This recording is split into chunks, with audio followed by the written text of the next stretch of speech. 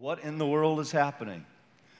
More and more these days, it just kind of feels like the uh, earth is spinning out of its orbit, doesn't it? I mean, we, we've got stuff we're watching on TV that in the news slot that's just like staggering. ISIS slaughtering Christians and billboards like this one denigrating the meaning of Christmas. The little girl saying, Dear Santa, all I want for Christmas is to skip church. I'm too old for fairy tales. And that's just one of many right now that are out around the Christmas. Today, I want to tackle where this is coming from, where the hatred, where the, the, uh, the, the, the angst toward God and Christianity is coming from right now. And we're going to look at an Old Testament prophecy that was written by David. The, the shepherd boy, the giant killer Goliath, the, the the Israel's greatest king. I mean, he went on to become Israel's greatest king. What makes this fascinating is how Psalm 2 describes an escalating conflict that is playing out 3,000 years later right in front of our eyes. God put this in the Bible so we could understand what's happened, so we could know what he wants us to do about this. Now, it's interesting that David was the greatest warrior to ever live. I mean, with combat victories that blow away any king before him or after. But that's not what he's talking about here. He's actually prophesying here. He, David was a prophet as well as a king. Uh, and uh, he's prophesying about a war that's going to take place at the end of the age before the return of Jesus. And it is the war to end all wars.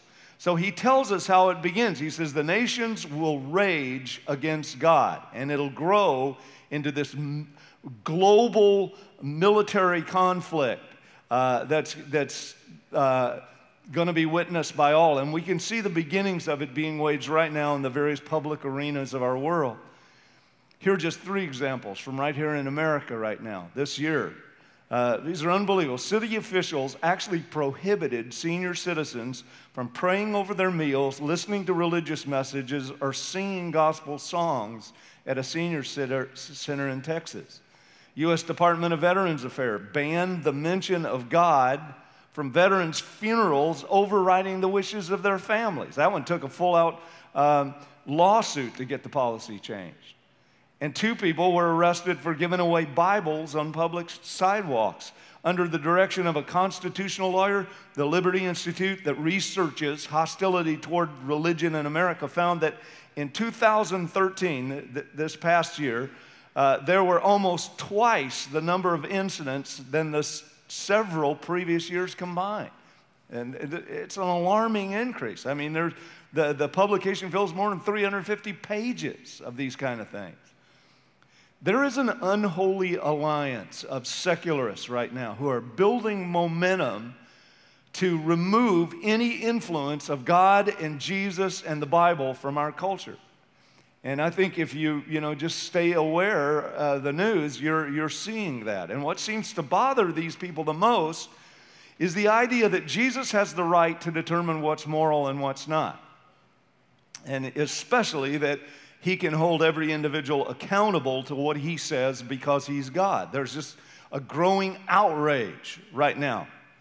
And it's only going to increase. It's directed against God, his morals, his ways, and his people.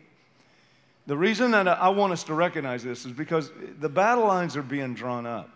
I mean, there, there's no question about this. It's, I mean, it's, a, and very soon, every one of us in this room will have to decide whether we will stand for or against the truth of Scripture. This is not going away. And the best time to decide whether you're going to stand for God and His version of the truth or a watered down compromise version is right now before the onslaught begins. This is the time for us to wholeheartedly embrace the truth, to begin to build an authentic relationship with Jesus, because if it is hard to take a stand now, it is going to be way harder to take a stand 10 years from now. And it's going to be way, way, way harder 20 years from now. I mean, with the proliferation of entertainment and technology that we've got going right now, the way it has mesmerized us, the way it is captivating us, and the way it is increasing, I mean, that's pretty easy to see. And God warned the nation of Israel about a coming battle through the prophet Jeremiah in chapter 12, verse 5. He said, If you have raced with men on foot and, and they have worn you out, how can you compete with the horses? He said, if, the, if you can't run with the footmen, you're not going to be able to run when things really get hot. So he's saying this is not the time to hide. This is not the time to curl up in a fetal position. This is the hour to root our lives in God, to get clear on His Word, to strengthen our resolve, to stand, to not wait to, for things to get easier, to get our hearts and our minds in shape, to be able to run with what God's saying and what God's doing, because God is about to move in the midst of all this chaos, and we want to be with Him. We want to be. God's not going to stand back on the defensive. There's going to be a move of the Holy Spirit in the midst of this, and we want to be running with it. We want to be on target with the Holy Spirit. All right, I know uh, that what I'm saying here sounds a little intimidating, and it's why a lot of believers right now are reacting by twisting and distorting the Bible to accommodate what's popular so they can avoid the conflict altogether. They want to feel good about their faith. They don't want to take sides. They say, I love Jesus, you know, but I, I want to be a secret, silent disciple. You know, I'm, I'm, I'm not weighing in on all this stuff. I don't want to get involved in all of this. But there's another group of people, another group of believers who want to be compassionate, who want to really care about people, but they also want to be faithful witnesses to Jesus and His Word. And I want us to be that people. I want us to be right in that group, loving and reaching out to people without compromise, without giving in. That's why we spent so much time studying the Sermon on the Mount. Because we want to understand what it means to seek God's kingdom first. We want to know what it means to love God with all our heart, soul, mind, and strength. And that's a huge part of what that message is, what Jesus' sermon is. Jesus is saying, This is how you love God with all your heart, soul, mind, and strength. And understanding Psalm 2 is, is going to add to this, it's going to help us. Now, the famous preacher Charles Spurgeon once said Psalm 2 is like a four act play. Because if, if you read my Facebook post and you've been reading it, you probably are wondering, huh? What is going on here? It's like four different things. And uh, he called it the great drama unfolding on the stage of history. So let's, let's look at this. All right, in Act 1, the kings and the people of the earth conspire to defy the authority of God. In Act 2, God responds to that. The third act, Jesus answers it. And the last act, David tells the kings who's going to win, and it's not them. All right? So let's dig into this. Verse 1. If you have your Bible open, you can read it right out of your Bible, or we'll read it. You can follow along off the, the screens. Why do the nations rage and the people plot a vain thing? The kings of the earth set themselves, and the rulers take counsel together against the Lord and against his anointed, saying, Let us break their bonds in pieces and cast away their cords from us. Now it's God the Father's turn. He who sits in the heavens shall laugh. The Lord shall hold them in derision. Then he shall speak to them in his wrath and distress them in his deep displeasure. Yet I have set my king on my holy hill of Zion. And then Jesus says, I will declare the decree. The Lord has said to me, You are my son. Today I have begotten you. Ask of me, and I will give you the nations for your inheritance and the ends of the earth for your possession. You shall break them with a rod of iron. You shall dash them to pieces like a potter's vessel. And this is David. Now, therefore, be wise, O kings. Be instructed, you judges of the earth. Serve the Lord with fear and rejoice with trembling. Kiss the Son, lest he be angry and you perish in the way, when his wrath is kindled but a little. Blessed are those who put their trust in him. All right, one more time. So here are the four parts. The kings and the people openly defy God. They war against the influence of his word in the culture. Number two, the Father responds. He openly exalts Jesus as his king of all the earth. Number three, Jesus answers. He prays in agreement with the Father's decree. this is so fascinating. And four, David warns the leaders of the culture and the government that they are called to serve the Lord. Now, again, I believe this is one of the most relevant passages in the Bible for understanding what's happening in our world right now. So let's dig into verse 1, all right? Why do the nations rage? And again, I think the real p- focal point uh, is they're standing against God's definition of morality. That's what's going on here. And right now, we're seeing that big time with the gay agenda. Suddenly, it's being accepted in the military, changes are being made to accommodate it in our schools. Seems like every TV show you watch has a gay character or 12 in it. You know, it's, it's like, whoa. And, and when the first football, gay football player came out earlier this year, you know, so many of the top leaders of the NFL are going, oh, this is the most wonderful thing. And I'm thinking, you know, I'm a little shell shocked by this whole business. You know, like, what? I want you to know I have real compassion for people who struggle with sin as a fellow struggler, all right? I do esteem the value and the dignity and the rights of every single human being, but to celebrate immorality as a virtue, when did we get there? When did this happen? How did we come to this? But here's what's behind it. See, here's what's going on. The, J, the gay agenda is just what's pushing the dialogue right now on who gets to define what's moral and what's not. It's the tip of the spear. It's moving uh, the nations forward to reject God's idea of morality. And, and guys, this is international. I mean, I, I've talked to some people who know leaders in Africa who are getting pressured to, to, to go this direction. I mean, it is an international, it's the, the, the pressure's on. Now, just so you know, the Lord is equally against all immorality, heterosexual sexual and homosexual. Let me just say this again. His definition of immorality is any sexual involvement with another person outside of the covenant of a marriage between a, one man and one woman. I mean, that's God's definition. And to me, listen, it is weird how something that is so blindingly clear in Scripture and so commonly accepted in Western society has become countercultural with this kind of breakneck speed. I mean, that we're seeing now. I mean, it's just like, bam. Well, here in verse 1, the nations are raging. They're beyond mad. They're consumed with violent hatred they're in an uproar. There's no neutrality uh, or tolerance whatsoever. In our culture, the word tolerance has already been redefined. I mean, the acceptance of anything that is free of the Word of God. You know, there's no neutrality or tolerance where the Word of God is concerned. Have you noticed that? These nations here in Psalm 2 are definitely not saying, well, you know, we respect all opinions. You know, we agree to disagree with you guys, you know, you Christians. You go your way, we'll go our way. No.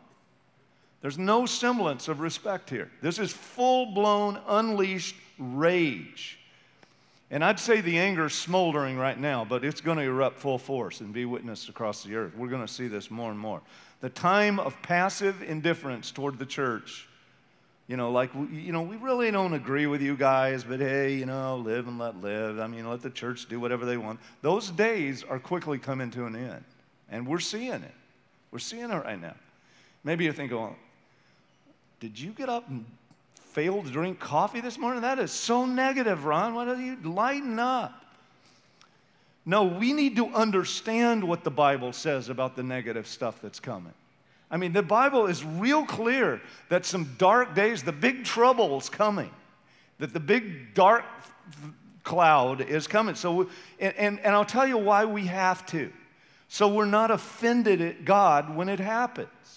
Jesus warned us about this. We don't want to be surprised or worse, deceived by what comes along. Jesus warned us in Matthew 24 10. He said, It's why so many Christians are going to chuck their faith in the days ahead and accept a compromised version of the gospel. You don't want to do that.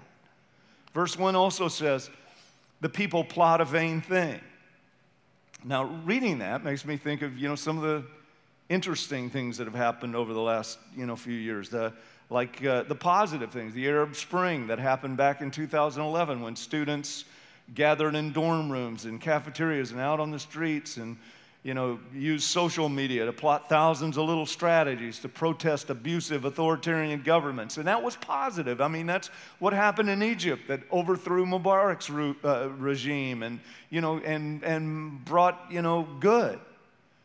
But now we see how ISIS is using the same media in a negative way. Social media can engage, enrage, and enable millions of people living continents apart to plot good and evil. And right now, it's helping to create this unholy momentum toward God and His Word that's giving people courage to believe that what they're doing is going to work. That, you know, hey, what, we're, what we believe now is bigger than God's Word. And, but David assures us it's all a vain endeavor. The plot to remove God's Word from society will ultimately fail. But for a short season, it'll seem to succeed. It'll seem like they're, you know, this is winning. Everybody's coming together. And we can see the unholy momentum gathering speed right now, but it will utterly fail in the end. The Word of God, the glory of God, the fame of Jesus will fill the earth as the waters cover the sea. That's God's promise as He fulfills His master plan. God is not indifferent right now. He is not out of the scene. He's in the big picture going, I got this all under control. I'm gonna, I'm gonna take this all back in one fell swoop. And I mean in one fell swoop, it's gonna come back to him. Verse 2 says, The kings of the earth set themselves. They take their stand, and the rulers of the earth take counsel together against the Lord and against his anointed. Now, the Lord that David is talking about here, let's just get this straight, all right? This is the God of Israel, all right? There's only one God, and that's who He is. He is not the generic God that we hear celebrities and athletes thanking for helping them win an Oscar or a touchdown. Not the same God, all right? David's saying they're against the, the, the God of Israel and his anointed. Now, that means the Hebrew word there is, is Messiah. It's the, it's the Greek word for Christ. You can use the three interchangeably. The leaders of society, they aren't against charitable deeds. They aren't against, they applaud humanitarian efforts like helping the poor and standing against human sex trafficking. But, but it has to be done apart from any mention of the God of Israel and his son Jesus. You, you, you can't do that. And some people will even, some Christians will even say, well, yeah, but we don't want to offend anybody using the name of Jesus. You know, I mean, it's, it's like, you know, we're a multicultural society these days. If that's where you're at right now, you've already bought the lie. You have bought this PC, this po- politically correct lie. Jesus is the only one who suffered and died on a cross to pay the debt for human sin.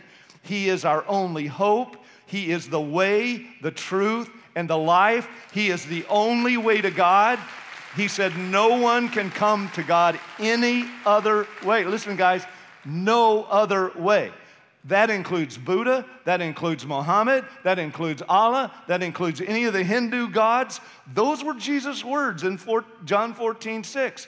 No man can come to the Father except by me. Helping hurting people, great things to do. But as born again believers, we absolutely have to attach it to the only name that can connect them with God the name of Jesus. And so, you know, we got to pull out of this cautious mode that we're in, where we don't say his name, where we don't talk about the God of Israel, because he's coming back as the God of Israel. And he's going to, the Jews are going to be brought into the family and they're going to be leading the charge. And so that, you know, that's his special people.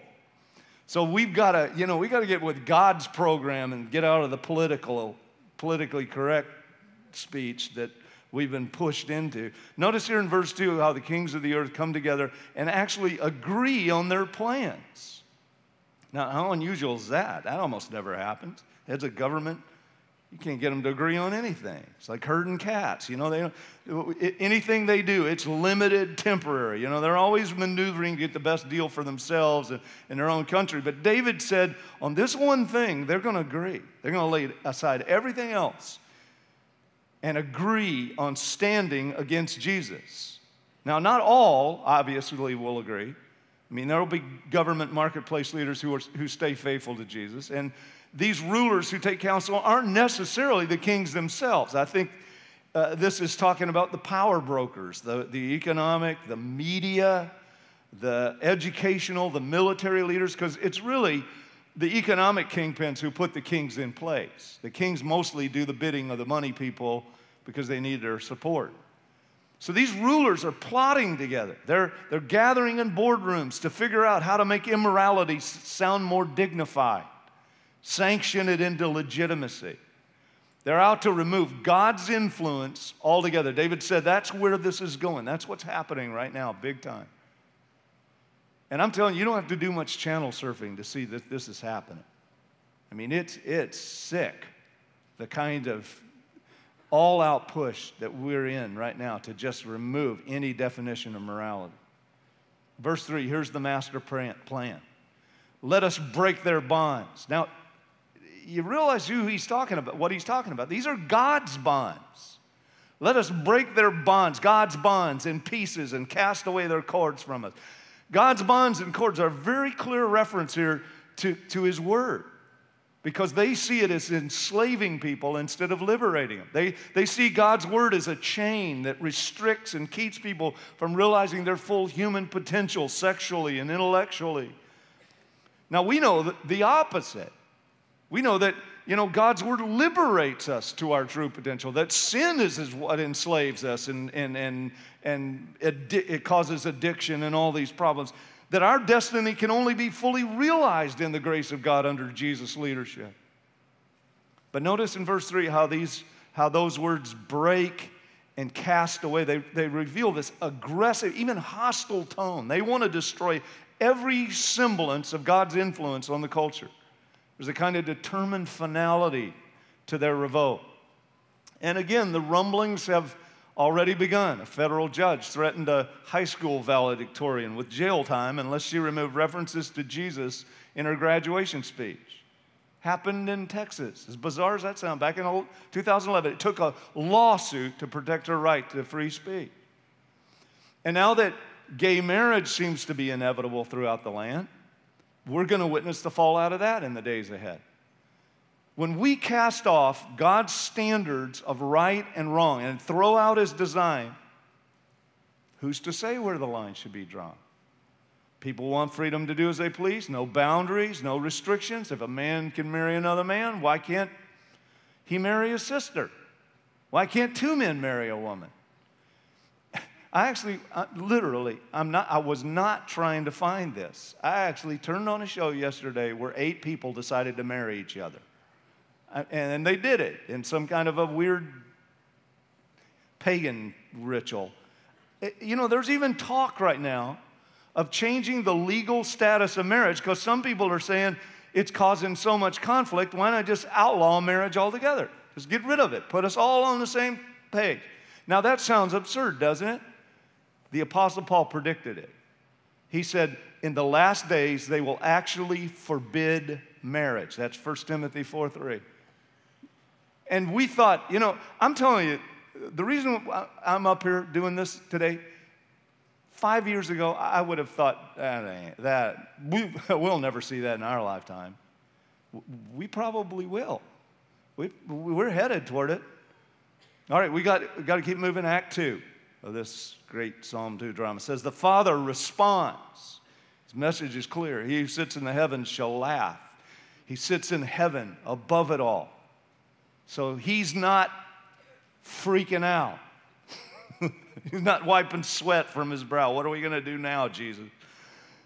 This is a description of his sovereign power. They're running around below, frantically scheming to overthrow the one who could blow them away with one breath, and he laughs at their folly. They've amassed the largest coalition of nations in the history of the planet. The armies, the arsenal of weapons, the aggregate finances, the alliance of global banking and industry resources is massive. There's grassroots support. Worldwide, multitudes are united. They're confident now. We're one. We can beat God. and God laughs.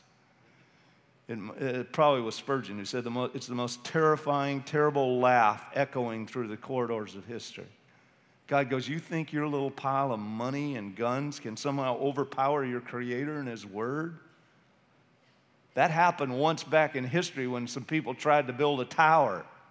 I fixed their wagon. I'll fix yours too. If you all get together and you say immorality is okay, you think somehow that's going to make it so? My word will never be altered. Psalm 138, verse 2, David said, God, you have exalted above all else your name above your word. He's elevated his word above everything. It will never be changed, it will never be moved. Psalm 2 4 says, The Lord shall hold them in derision. He mocks them for thinking mere human strength can overthrow him.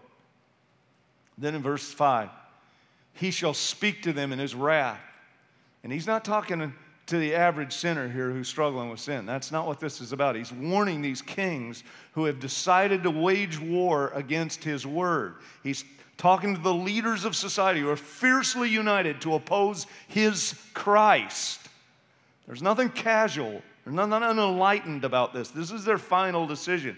And the Lord says to David, I want you to speak to them in my name about my wrath because I'm a God of justice, justice as well as mercy. Before my wrath is poured out, I'll always give due process, uh, time, you know, witness and warning uh, in case some of them might, you know, yet repent. So, to be clear, the gospel of love and grace is his primary message to the nations and sinners of the world. But verse 5 is a warning to the leaders who are conspiring to drive out the influence of his word. This is aimed at those who are hardened in their rebellion against him. He says, I'm going to I'm going to distress them in my deep displeasure. Another translation says, terrifying them with his fierce fury. And then Jesus absorbed it so we'd never have to experience the fury of it. But we do have to receive his sacrifice to escape it. And the Father's ultimate message is here in verse 6, where he says, I have set my king on my holy hill of Zion. Now get this he's declaring the victory of Jesus as a human king who is going to reign on this physical earth. Remember, he's forever now God man. He's both. He's all God, all man, forever. Jesus had been God forever in the past, for he would always be God. He's God in the present. But the message is here is that Jesus, the God man, is being recognized by all the earth as king of all the earth. That's coming. That's what's about to happen. That's what, where this is all going. God the Father says, I want my son declared as my king because his victory is absolute. Nothing can change that. It is an established fact. He is exalted. I want his supremacy proclaimed throughout the earth. Act 3. Now, this is where it gets interesting. Jesus responds, it's already interesting. Jesus responds, verse 7 Father, I have one thing to say. I will declare whatever you decree. He's saying, whatever you say, I will pray and get my people to agree with me. You say that I'm a king, I'm going to pray for my kingship to be fully manifest on the earth. Now, that is amazing. Get the fact that he's already king, he's crowned at the right hand of the Father, he's already seated on the throne of heaven, but here he's talking about his enthronement on the nations, over the nations of the earth, on the earth. That's what the Bible, prophet after prophet after prophet in the Old Testament says they saw the same thing.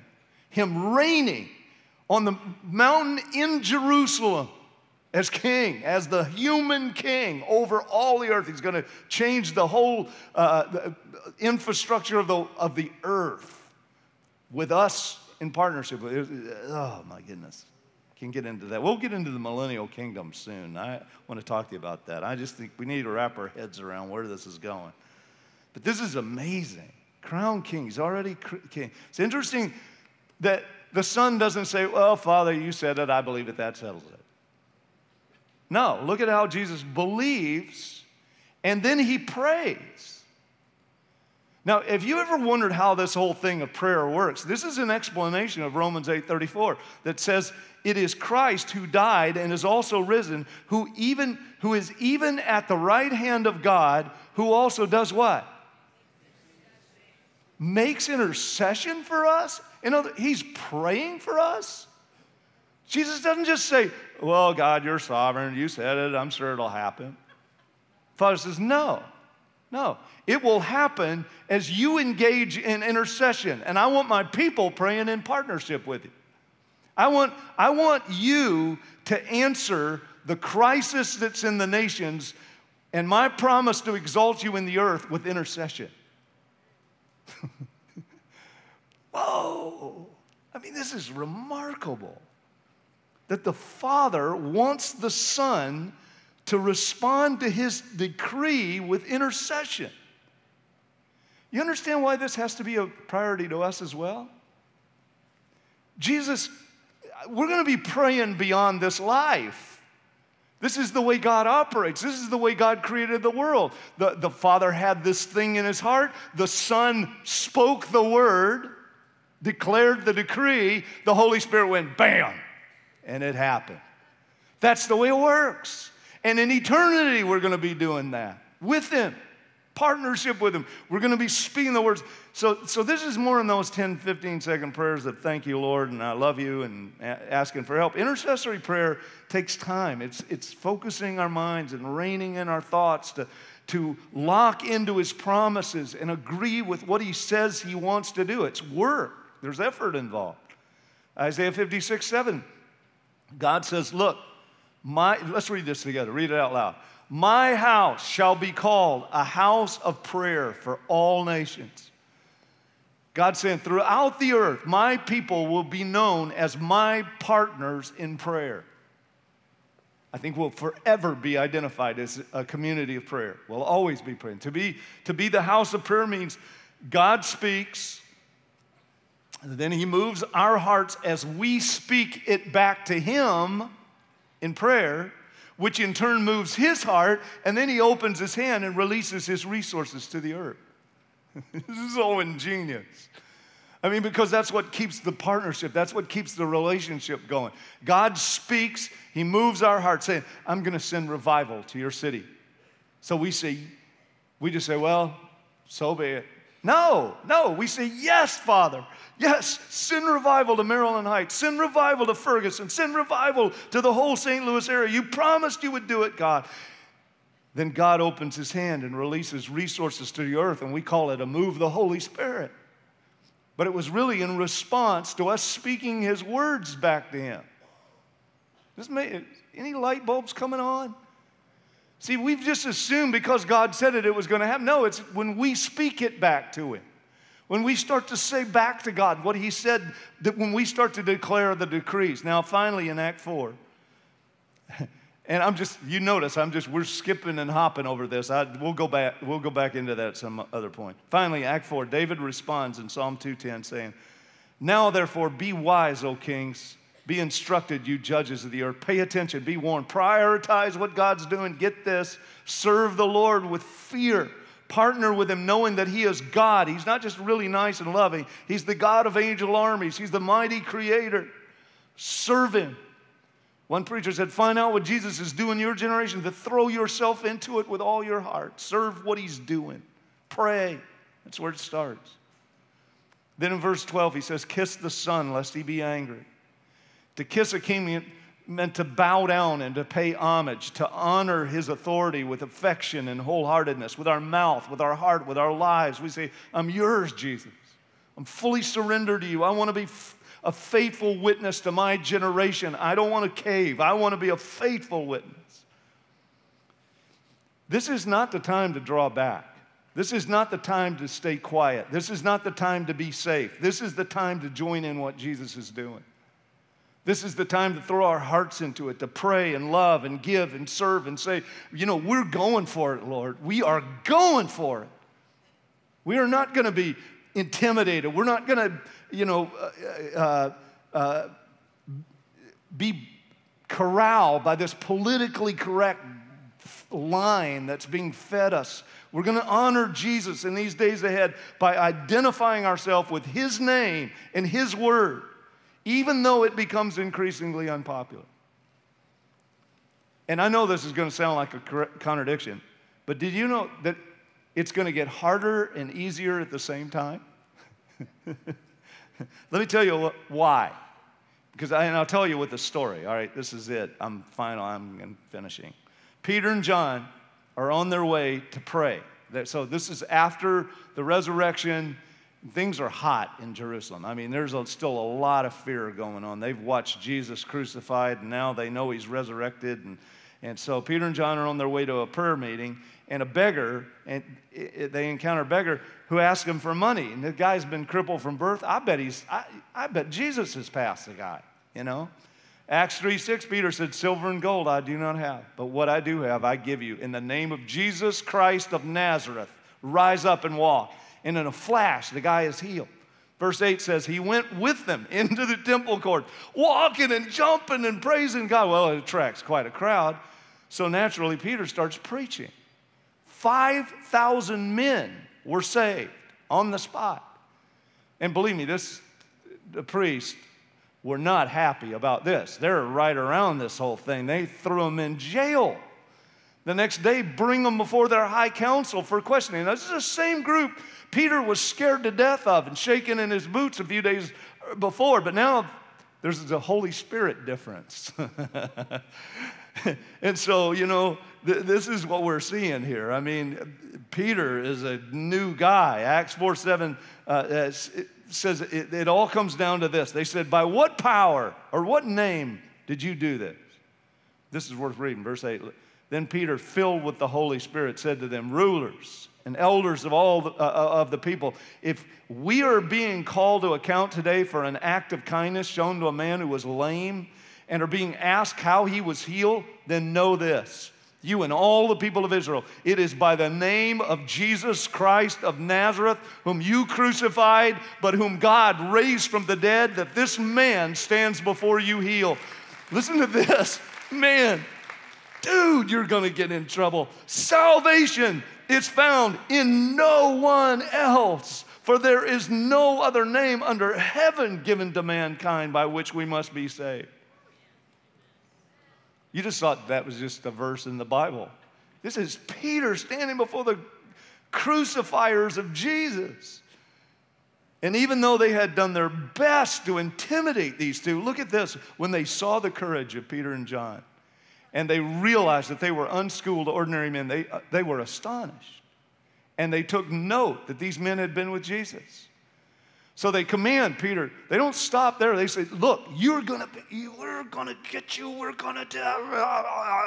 You know, threaten them some more. Peter, John run off to the fellow believers, and look at what happens. Verse 24. They get, they get there. The believers immediate when they heard this, they raised their voices together in prayer to God. Sovereign Lord, they said. You made the heavens and the earth and the seas and everything in them. You spoke by the Holy Spirit through the mouth of your servant, our father David. Uh oh, here we go. Why do the nations rage and the peoples plot in vain? The kings of the earth rise and the rulers band together against the Lord and against his anointed one. Now, Lord, consider their threats and enable your servants to speak your word with great boldness. Stretch out your hand to heal and perform signs and wonders through the name of your holy servant Jesus after they prayed, the place where they were meeting was shaken and they were filled with the Holy Spirit and spoke the word of God boldly. It's going to get easier to speak the word bolder and, and with boldness because the Holy Spirit is going to do that for us. And you say, well, how do you know that? Because we're asking Him to. We've been interceding. We've been asking Him for this. We've been crying out to God, and God is going to hear us just like He did them. You know, this was just the down payment on that, that whole scenario. This is, this is, we're headed for the big picture when this whole thing is really going to get hot. It's going to be glorious what God is going to do. You know, there, people say, well, Ron, is it going to get worse? Is it going to get better? Yes. it's going to get incredibly better. It's going to get incredibly worse at the same time. I mean, it's going to be harder to face the intensity of ridicule and hatred that's coming at us for doing this. But it's going to, the power of the Holy Spirit is going to rest on the church of Jesus, the praying church, like we have never encountered, like we have never witnessed. It's going to be the greater book of Acts that, that God has promised to this final generation. And I don't know whether we're it. I'm not trying to say, uh, you know, 10 years is max. That's where people get in so much trouble. And I am not going to do that. I mean, it's hard when you look at the evidence and see where things are going to not say, whoa, we're getting close here, guys. This is getting close. But I do believe, you know, that we're, uh, we're in a window uh, of time where things are escalating and we're going to see this thing begin to come together. It's why we're praying the trust prayers and the fellowship prayers. It's why we're coming together tonight at the foundry for prayer. It's why we're creating other times of prayer here. It's why our worship teams are going this direction. It's vertical because we understand where we are. And that only by the power of the Holy Spirit are we going to be able to stand up to this and not get duped and not get pulled in. These are the days to give ourselves to the study of God's Word. I was talking to some of the younger guys today about, you know, uh, uh, their feeling, the heat to, to disciple. You know, every one of you ought to be teaching somebody. Just, you look at, look and think, well, you're the teacher. No, no, you're the teacher. You need to be teaching this to somebody. You, you won't even get this if you're not teaching this to somebody, if you're not giving this away. So you need we need to be sharing this with each other and teaching this to each other. This new year, I want to challenge you get yourself a Bible you can understand, which means not the King James Bible. Get a, get a newer translation. New International Version is a good one. The New Living Translation is a good one. The bookstore can help you, they got them. Uh, get a Bible reading plan that you can read the whole Bible so that you figure out it's not as incomprehensible as you thought. Message paraphrase, if you're just a beginner, might be a good place to start. YouVersion is an app that you can get online. It's free. It works for your pads, for your phones.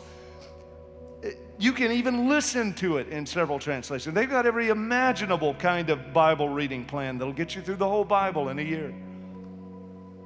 Here's why we want to be able to run with the horses we want to be able to run with what Jesus is doing when things start to come online. We don't want to be going, I don't know what's going on. I want to say, I know what's going on. I, I see it in the Bible. I've seen it in Isaiah. I've seen it in Daniel. I've seen it in Zechariah. I've seen it in Revelation. I know what this is about, and it's going to be glorious if we'll keep our hearts attached to Jesus and what He's doing, He's, he's running this show. The devil will try to step into it, he's going to try to mess it up, but ultimately, God has His way. We read these statements, you know, in the New Testament, and we think, oh man, that would have been glorious to live in that, that era. That would have been just so glorious. Those people were getting persecuted, they were getting crucified, some of them. There was a lot of martyrdom that took place in the New Testament. But you know what? When we read it, that's not what we read. We read about the glory of God that was on them. We read about the healings and the power of God. And we read about the grace of the Lord Jesus. Don't you want to be in that? Man, I want to be in that.